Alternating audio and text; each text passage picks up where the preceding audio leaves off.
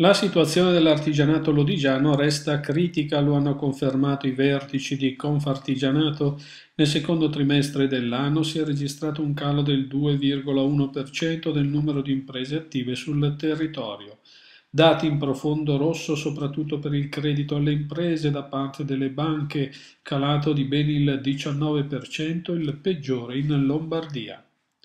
La ripresa continua a ritardare, con l'unica eccezione per il settore dei servizi alla persona, ha osservato Mauro Parazzi, segretario della sede di Lodi di Confartigianato.